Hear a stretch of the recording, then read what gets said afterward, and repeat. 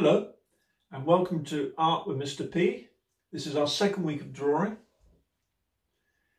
Now I'd like you to start this week by looking at a piece of artwork on the line. I'd like you to search for The Goldfish by Paul Klee.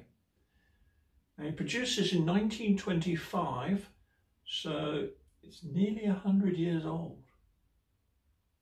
Now when you're looking at The Goldfish by Paul Klee have a look at the sorts of lines that he had decided to use. Look at the shapes that he's produced. Think about the colours that he's used. Is the main fish bright or dark?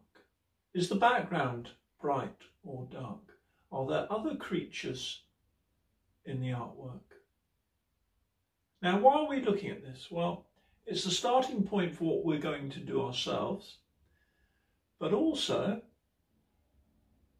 looking at the artwork of famous artists has three immediate advantages. First of all, it can just make us feel good. Looking at a picture is a little bit like reading a story.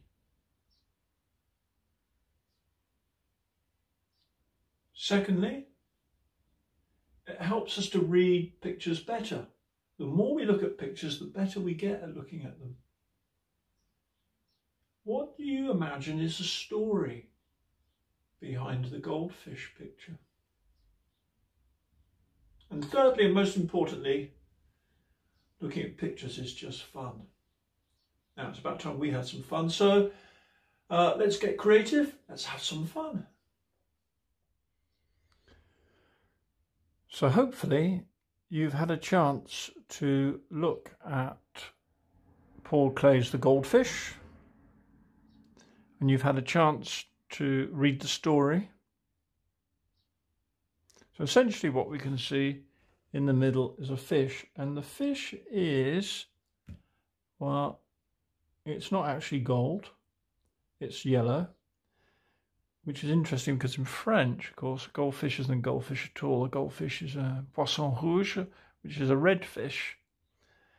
Um, but actually, most goldfish are orange, aren't they? Anyway, going back to Paul Klee, I'm going to choose, I think I'm going to choose the red and very carefully, I'm going to try to draw not any fish, but Paul Klee's fish.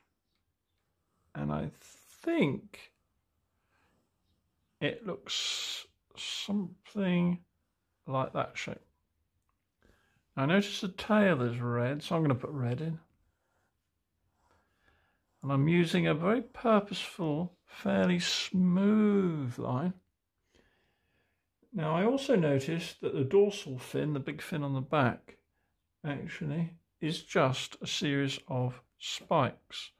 So I think I'm going to try and put a bit of expression into that line and draw those coming down like that. There's another small fin, it looks like a bit further down, and a fin underneath. So you notice, although we've got an outline for the body, there are, there's no outline for the fins. All we can see are the, are the spiky bits. We've got a little bit of red around here where the gill is, I think, where the fish breathes. But like most fish, this fish has got a big eye. Now, it does look fairly reddish to me. And it looks like a series of concentric circles. So that's what I'm going to do.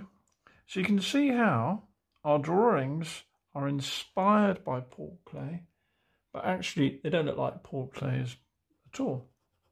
Because that's not the idea. We're not telling the same story. We're retelling the story, yeah? But not using exactly the same words. So I'm going to go, I'm going to get the yellow out now. And I'm going to start putting in some more of the fish here.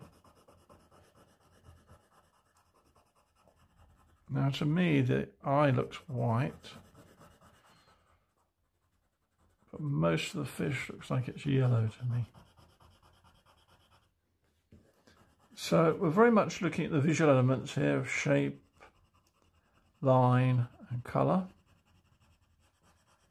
Now when you think that Paul Klee drew this originally, or painted this originally, in 1925, if you look at some of the other kind of art that existed in 1925, you would kind of realise how revolutionary, how different this was compared to what so many people were doing at the time.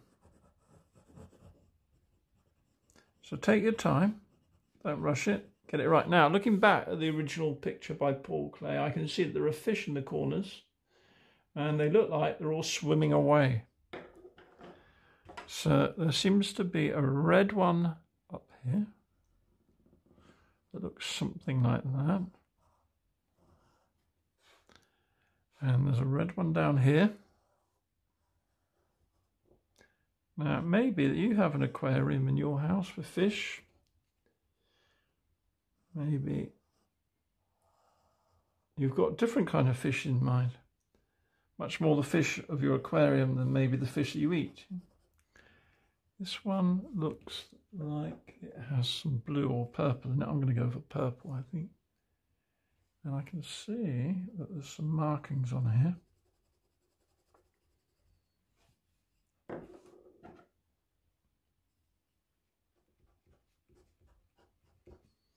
So these markings, the difference in colour and the markings actually make the fish look like it's got texture. Now, I don't know how scaly you think the texture is, but it could be scaly, couldn't it? It could be like the scales on the fish. So I'm taking my time, trying to get this absolutely right. Yeah? Very important. This fish over here has got some patterns on it that look like triangles to me. So put those on. Something like that. These are definitely scaly, aren't they?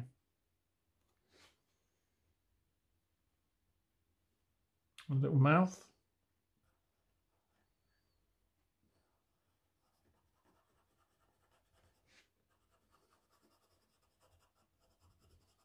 Uh, you've probably noticed that the background is very dark. Yeah? If you've got darker paper, try using that. Or, actually, you know what you could do? You could draw these bits and then collage them onto a dark background. Yeah? So I'm not going to bother doing the rest of the fish. That's for you to, to work out. Yeah. I do notice that there are some plants in the background. There's something down here that looks something like that.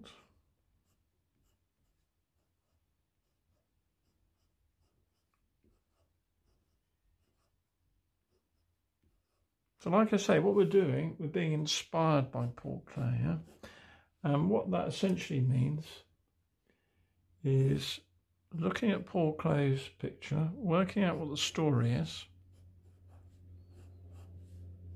and then rewriting the story but using our own shapes and lines and textures and colours. Well, oh, there's a nice one up here, I like this one. Think it looks a bit like this.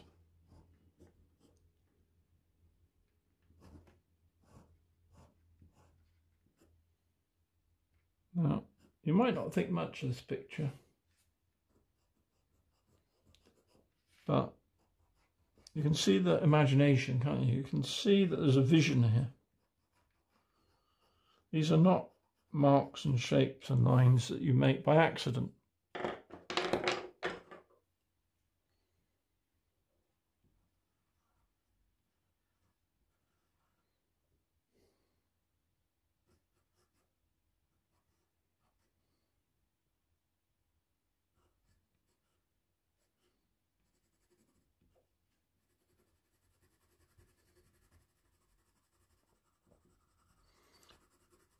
So, my invitation to you is to keep going until you think that you've finished telling the story. Enjoy it.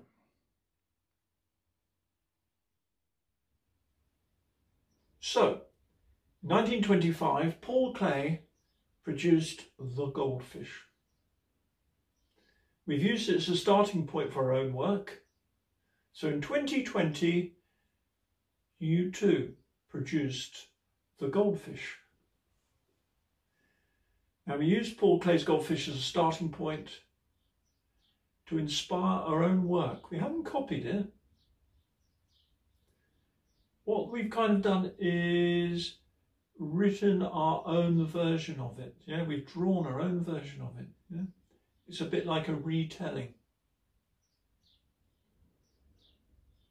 Now, why have we done this? Well, not only do we enjoy doing it and it makes us feel good, but it helps with how we learn how to read pictures. Well done. Next week, we'll be looking at painting again. See you then.